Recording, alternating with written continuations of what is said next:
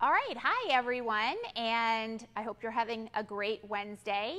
I want to spend a couple minutes today telling you about our Servanthood Sunday to Sunday event that we're having at Calvary starting this Sunday through the following Sunday. So, if you've been at Calvary for a while, you know that we usually do a Servanthood Saturday or a Servanthood Sunday a couple of times a year where we go around town in groups and do projects at a lot of local schools, homes, and organizations. But of course, because of so many of the safety protocols, that's not possible right now. So we're going to do a twist and we're going to do a week of serving projects and encouraging every single person in our church and anyone who wants to join us from the community to be doing um, serving projects, whether it's individual or family projects or group projects. But each one of these is something that you can do no matter where you're at on um, the safety protocols. So things to do on your own, things to do um, socially distanced. So I'm going to give you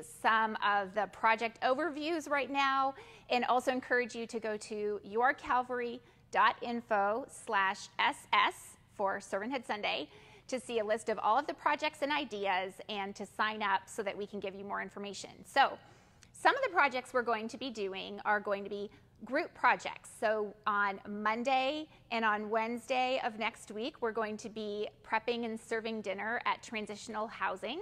So if you feel comfortable doing a project like that, um, you can jump in with that. Next Thursday here at the church, we're doing a blood drive, and we need to have at least 25 people signed up to make that happen. So you can do the blood drive is one of them. We have several groups going around to local schools doing painting on the um, parking lots like Foursquare and Hopscotch and doing some landscaping and things. So those are great projects to do on your own time or with a couple of friends. And then we also, if you go to the Info Hub card and scroll down, you can see that we have some guided prayer walks. So you could choose to do a prayer walk around the Purdue campus. You could do one around your neighborhood. You could choose to go downtown in Lafayette and do a, a prayer walk there on your own, or maybe with your kids or with a good friend. So lots of ways to serve. But let me show a few of the things where it's an individual project but part of a bigger group effort. And starting this Sunday, you can come by and pick things up here at the church. So we have, um, we're collecting food pantry items as well as things like socks and underwear for transitional housing. And there's a full list of their top needs on the Info Hub. So starting Sunday, you can drop those off. And actually, on Thursday, we'll have a very specific time where you don't even have to get out of your car. I'm going to be out there with the buckets, and hopefully, we'll be able to get a lot of pantry items for them.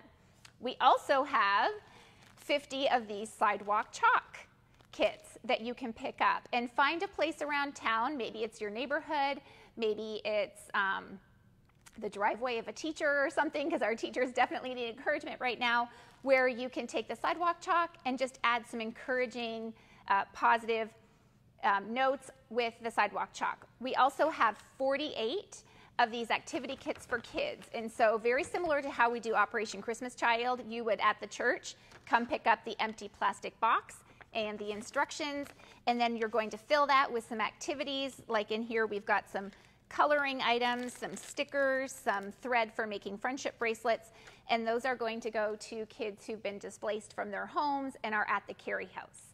We also have 90 of these bright yellow yard signs, and so you would come, you would pick up one or two of the blank yard signs with instructions. We have a list of suggested uh, messages that you can put on them, and you're going to just design it yourself and you're going to put the messages on. We've got the stakes, and then we're going to put 90 of these around our community um, just to, to put some encouraging messages out there. So there's a lot that we can't do right now, but there's a lot that we can do. And so we want you to go to the Info Hub, read all of the options, come up with some creative ones of your own. As always, if you have ideas or someone you know who needs help, um, and need help figuring out the logistics or the funding of that, that's what we're here for. And so you can reach out to me personally, and I'll do my best to help make that happen. So please continue to let us know if there's needs in the community that we can help with.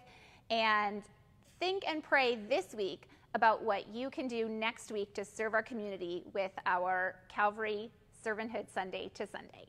Have a great day.